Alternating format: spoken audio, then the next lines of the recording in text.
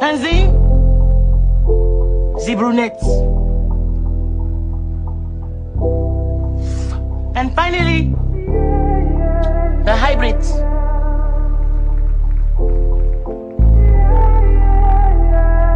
The Lord have truly blessed you all with your meanest talent.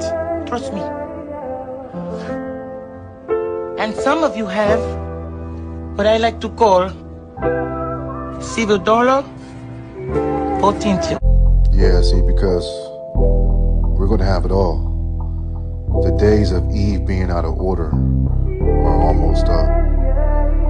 The women of the 12 tribes of Israel are going to have new spirits and new bodies just like we will. And their minds will be changed in righteousness.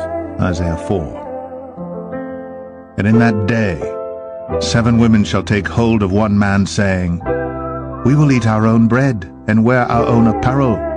Only let us be called by thy name to take away our reproach. In that day shall the branch of the Lord be beautiful and glorious, and the fruit of the earth shall be excellent and comely for them that are escaped of Israel. And it shall come to pass that he that is left in Zion, and he that remaineth in Jerusalem, shall be called holy, even every one that is written among the living in Jerusalem. gonna come your way. So much so that you won't know what to do when they come your way. So many of them are gonna be coming down, beating down your door, because you have the one thing they don't have. You have stability. Why? Because you have the understanding of this truth, this knowledge, which is gonna keep you stable. Isaiah 33 and 6. The scriptures do not lie, brothers. Lord have truly blessed you all with tremendous talent. Trust me. And some of you have what I like to call civil dollar potential.